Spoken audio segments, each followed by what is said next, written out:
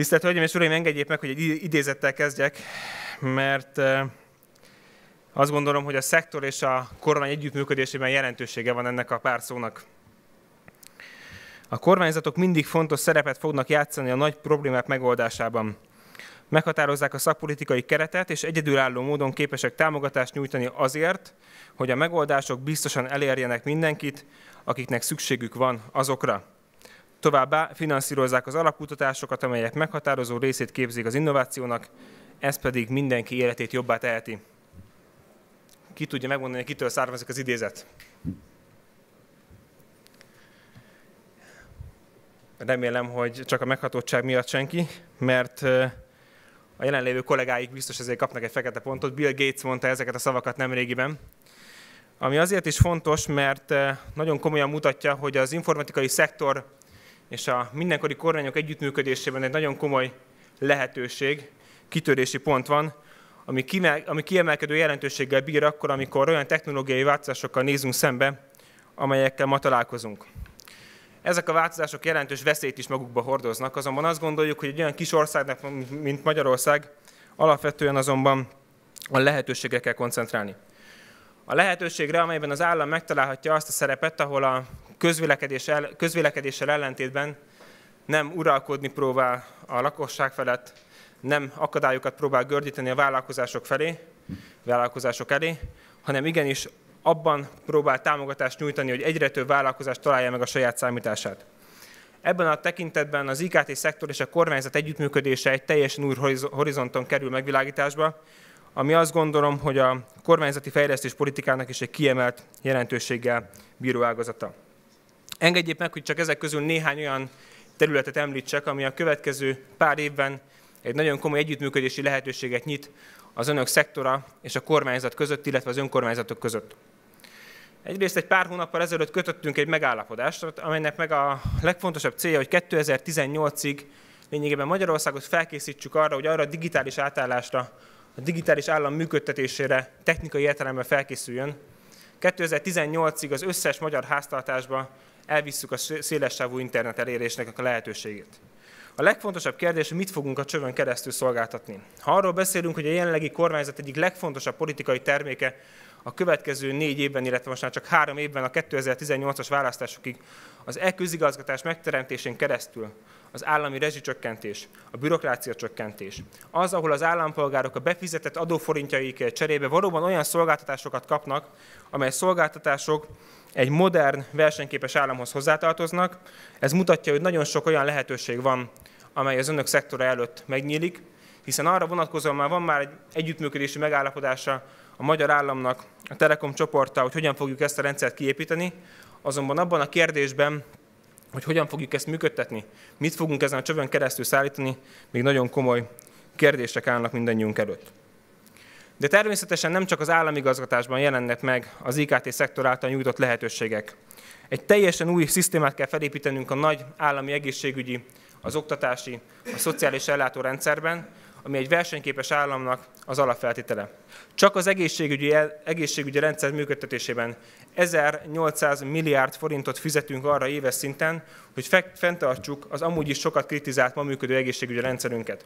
Ennek az a büdzsének a másik oldalán pedig 1200 milliárd forint van. 600 milliárd forint geppet finanszíroz a magyar állam azért, mert nem tudunk lemondani egy olyan rendszerről, ami a rendszerváltás követően az állampolgárok elvárási színvonalának, ha nem is felel meg teljes egészében, a világ országai közül még mindig egy viszonylag stabil egészségügyi ellátást biztosít. A legfontosabb kérdés és a legfontosabb növekedési lehetőség, hogy a szolgáltatási színvonalat ne tudjuk csökkenteni, de az állami kiadásokat hasznosabban, okosabban tudjuk felhasználni, az az, hogy hogyan tudunk egyre több a modern technológia eszközkörébe tartozó rendszert, üzemeltetést, eszközt beépíteni, ezzel olcsóbbá tenni a diagnosztikai ellátásokat, és hatékonyabbá a magyar egészségügyi ellátást. De beszélhetünk az oktatási rendszerről. Az oktatási rendszer átalakítását alapvetően egy olyan probléma kör uralta az elmúlt időszakban, ami egy teljesen új rendszer működtetési modellre vonatkozott a Klebersberg intézmény fenntartó központ létrehozására. Azonban ez önmagában az állam számára nem egy cél volt, csupán egy eszköz.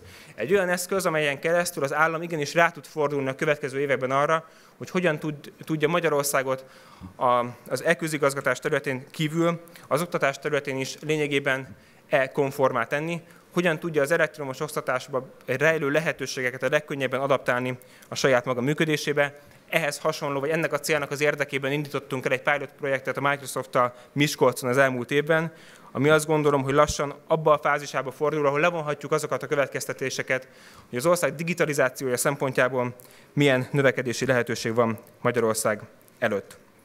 De beszélhetünk egy másik területről is, hogy az új gazdaságszervezési modell, a sharing economy rendszere hogyan, miként befolyásolja cégek működését, hogyan, miként befolyásolja azt a szabályozási környezetet, ahol az államnak az a feladata, hogy azonos szolgáltatási körben működő vállalkozások számára azonos lehetőségeket biztosítson, és emellett pedig megteremtse annak a lehetőségét, hogy ebben az új gazdasági modellben valóban a rendelkezésünkre álló közjavakat és magánjavakat sokkal hatékonyabban, hasznosan lehessen felhasználni. Mindaz, amiről eddig beszéltem, az innováció. Az az innováció, amely az egyedüli kitörési pontja lehet Magyarországnak arra vonatkozóan, hogy valóban visszaszerezze azokat a pozíciókat, amelyeket jelentős mértékben 2002 után vesztettünk el. A Visegrádi négyek, és azóta a 2004-es csatlakozást követő időszakban csatlakozott új három Európai Uniós tagállam közül ma jelen pillanatban nem tartozunk a legerősebb állam kategóriájába.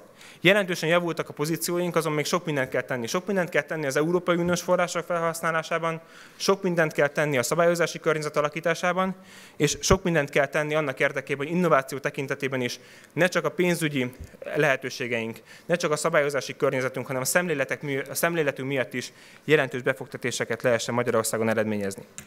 Az innováció területe az alapvetően a kutatás-fejlesztési források felhasználásában fogható meg. Három területet jelölt ki a kormány, amelynek a végrehajtása függ attól az együttműködési minőségtől, amit a kormányzat a piaci szereplőkkel ki tud alakítani. Az első és legfontosabb, hogy hogyan találjuk meg az egészséges egyensúlyt az alapkutatás és a piaci innováció között hiszen az első terület finanszírozása a piaci szereplők számára általában kevésbé fontos, ahogy a Bill Gates idézetből is kiderül, általában az állam feladata ezeknek a kérdéseknek az elsődleges finanszírozása, de amelynek az elmaradása jelentős deficitet okozhat a piaci innovációban. Ezért ezeknek a forrásoknak, amit ezen a területen szeretnénk felhasználni, egy jelentős részét, konkrétan harmadát szeretnénk alapkutatásokra fordítani. Ezt követően jönnek azok a finanszírozási területek, ahol a korábban finanszírozott tudásból, az állam a közpénzekből finanszírozott tudásból konkrét piacra vihető termék eh, jelenik meg. Ez az innováció. Az innováció alatt a kormány azt érti, amikor egy projektnek a végén, amelyben megjelenik a saját erő, megjelenik az állami támogatás, legyen az Európai Uniós forrás, vagy legyen a magyar költségvetés támogatása, megjelennek azok a saját erős beruházások, amelyek lehetővé teszik azt, hogy egy-egy projekt valóban akkor kerüljön az innovációk témakörébe, kategóriájába, hogyha a bemeneti ponton egy olyan ötlet van, ami a kimeneti ponton konkrétan piacra vihető terméket okoz. És a harmadik legfontosabb kérdés, hogy hogyan találunk ehhez szövetségeseket. Olyan szövetségeseket, akik ma Magyarországon a nagyvállalati szektorban jelennek meg, amely nagyvállalati szektor a hazai innovációnak a jelentős részét végzi, és amelynek a beruházási aktivitás az elmúlt időszakban jelentősen növekedett. 2012-ben megfordult az arány, és az addigi állami ráfordítások arányát meghaladta a piaci ráfordításoknak az aránya. Olyan cégekkel szeretnénk együttműködni, akik érdekeltek abban, hogy a hazai kis- és középvállalkozói szektort egyre több területén vigyék ki a világpiacra, hiszen annak köszönhetően, hogy Magyarországon végeznek kutatásfejlesztési tevékenységet, olyan Európai Uniós forrásokhoz férnek hozzá, amit az Európai Unió más tagállamaiban nem találhatnak meg. Azt gondolom azonban, hogy a pénz, a szabályozás önmagában kevés. Egy olyan szemléletbeli változásra is szükség van, amely a magyar gazdaságnak minden egyes területére ki kell, hogy terjedjen. Az együttműködési készség, képesség és akarat kialakítására. A kormányzati szándék, a kormányzati jogalkotási gyakorlat és a kormányzati ösztönzők ebbe az irányba hatnak. De mivel azt mondták, hogy 15 percen van, és lassan letedik a rendelkezésemre álló idő, ezért engedjék meg, hogy egyetlen egy, talán az önöket leginkább érdeklő témával, illetve információval zárjam a gondolataimat, amelyen keresztül remélem azt is tudom bizonyítani, hogy az állam szolgáltató állam. Ezért az összegről, amit önök mindenre felhasználhatnak 2020-ig, szeretnék olyan nyelven beszélni, amit önök értenek. Az informatika nyelve a kettes számrendszer, ezért azt a támogatási összeget, amit a kormány 2020-ig a kutatásfejlesztés, az innovációra fordít, engedjék meg, hogy ebben a számrendszerben ismertessem önök számára. Kérem mindenki vegyen elő egy tollat. A szám következik, amely így hangzik, 1, 0, 1, 1, 0, 0, 1, 0, 1, 1, 0, 1, 0, 0, 0, 0, 0, 1, 0, 1, 1, 1, 1, 0, 0, 0, 0, 0, 0, 0. Köszönöm megtisztelő figyelmüket!